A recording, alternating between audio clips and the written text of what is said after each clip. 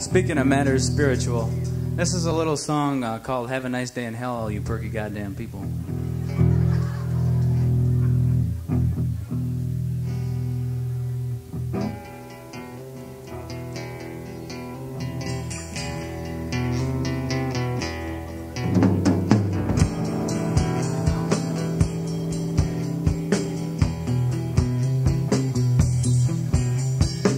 Did you ever have one of those days, you know? It's usually a Monday, but it can be any day, and it seems like a Monday.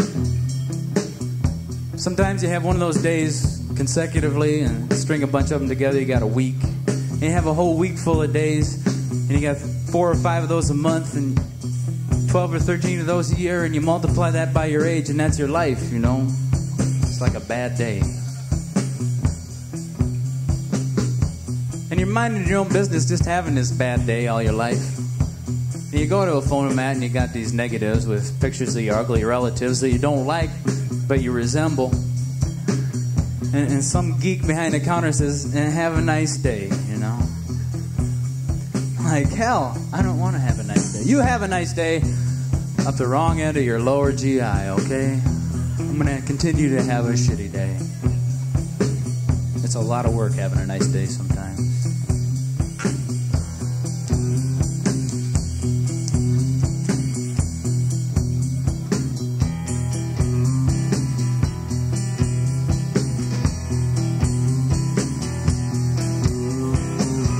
Perky people everywhere.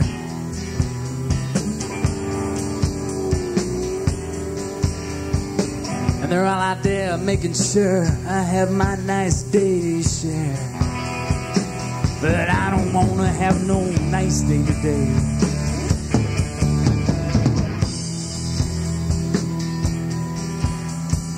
But here comes Gregor with this smiley button grin. If he gets upbeat with me, I swear to God I'll beat his head in.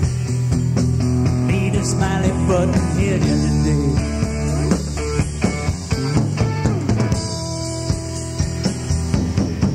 Cause I've been browbeat by the boss all morning. I've been withered by the weather since June. I'm just an average guy, seen my lows and my highs, but I've stood all I'll stand. I shall hurt perfect people and see.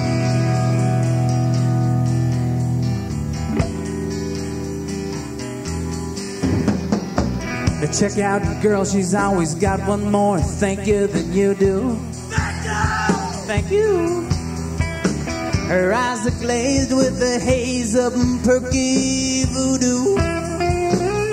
Flirting with that little photo man guy.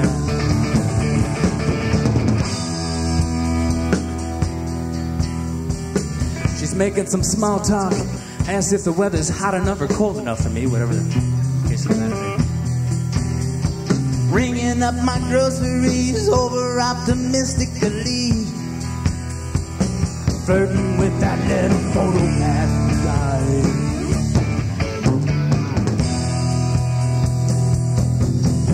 She's gonna get him in the back seat of his Chevy.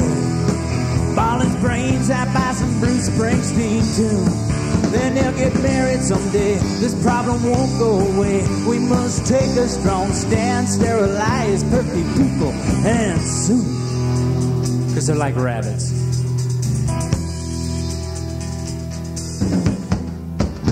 They surgically implanted Nancy Davis with a silicone smile.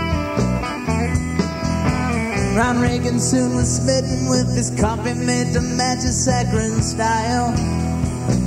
His own perky little monkey love machine.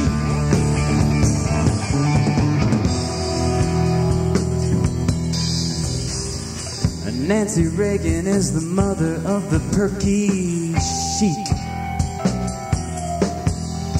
She's so goddamn perky, you can't imagine her taking a leak. But Ronnie loves a golden shower routine. Trickle down, mommy.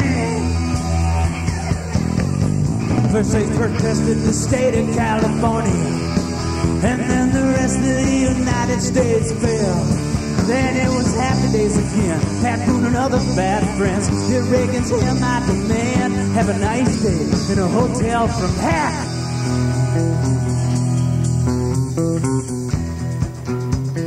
You know where Heck is? Would you like to know where Heck is? I mean, it might be important to some of you people, because Heck is this sort of lukewarm place somewhere between here and there where perky people go if they don't live up to the perky code of ethics, you know, if they let down that holy trinity of uh, gosh, jeepers, cripes, and Casper the friendly ghost, they go to Heck. They don't go there for eternity. Perky theologians say that they go there for like a good long while, but it's not eternity, and they sort of broast. I mean, and if you're not sure you're perky out there, even given the explanations I've given so far, I mean, if you ever if you ever find yourself using phrases like uh, "If life gives you lemons, make lemonade," you know, you're, you're probably or if you say "Oops" when people run into you, yeah, you're perky. You know who you are. And for the very advanced perky people, they're already saying, "He's talking about me." Yeah, I know where you live too.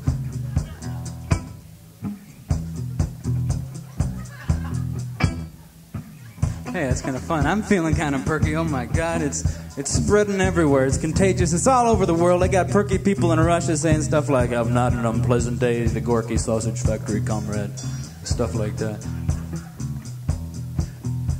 But if you want to know how to stay out of heck, and this is important if you are a perky person, and I think that there are some out here. There always are. They follow me everywhere. This is a little worst case scenario about how you getting heck? Say you're a typically American perky person sitting in your ranch style home there watching TV. It's it's probably something with Vanna White or Barbara Walters. I don't know who can tell them apart anymore. But you're sitting there watching this and you see, you know, you got these pictures on the wall above the TV. You got one black velvet Elvis over here, and you got this Jesus Christ paint by number thing, and. Uh, you got this hole in the middle, and you're trying to figure out what the heck you're going to put there, and then you remember, oh yeah, Aunt Marge gave us that that wonderful Norman Rockwell print. It's a God Bless Our Home with the, the little girl and the old man. You know the one I'm talking about. So you go out and you get your uh, True Value ball peen hammer. It's autographed by Paul Harvey. It's true. You lay back there, and somewhere between the end of that hammer and the end of that nail comes the end of your thumb. And there's a violence done to it that's far above and beyond the pale of perky. And you let loose with a string of epithets straight from the gaping maws of heck, stuff like fudge, sugar. Gosh darn it, Mark, Margaret, where do you keep the the, the unguentine? Oh, stuff like that. Okay, at that point, you're pretty much roasted in heck. It's all over for you. But what about Skippy? What about Junior? Sure, he shouldn't have been down there sneaking that extra ho ho before supper. Beans and Frank's, his favorite. But he deserves a fate better than heck. And yet, he's walking out of that, that little ranch style home all confused. All these nasty words in his head, things he'd never heard before. And that in combination with those uh, extra wide, bell bottom, corduroy, lime green jobs he got him last President's Day, he's catching the wrong kind of friction from those uh, corduroys, if you know what I mean. And yeah, you do. You got those corduroys too, don't you? Yeah. Okay. So he's walking down the street and he's daydreaming about things he never thought about. You know, Tammy Faye Bakker without her makeup and rolling around naked and cream filled hostess products. It's just awful. It's sick but it's real and it's happening. And as fate would have it, Skippy didn't see the irony in the fact that rolling down the hill was a truck filled with cream filled hostess products with no brakes, no way to stop. Look out, Skippy! Skippy! Skippy! Look out, Skippy, it's too late, Skippy. You're just like that couple in the last song. You're just about to grease.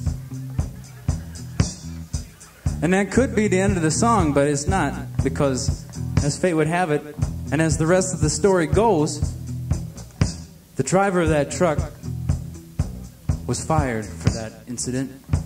And he had to take a lower paying and less prestigious job as Vice President of these United States. That's right, Dan Quayle. All due to perkiness, Dan Quayle is like a heartbeat away from the button. And if you don't think perkiness is dangerous, if you don't get out there right now and write your congressman and tell him that this thing has to stop, we have to have the sterilization and the immunization against perkiness now.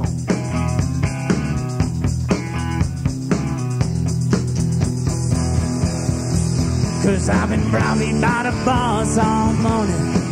I've been weathered by the weather since June. I'm just an average guy, seen my lows and my but I've stood all I stand. I shall kill perfect people and.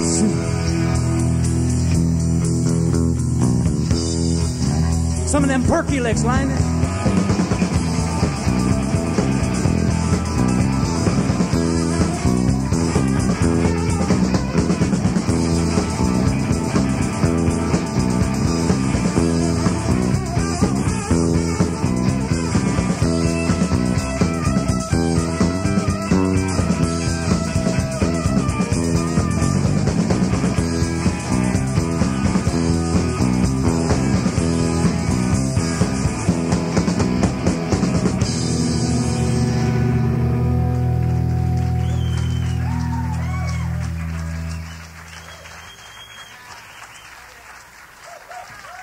Thanks to all those unoffended.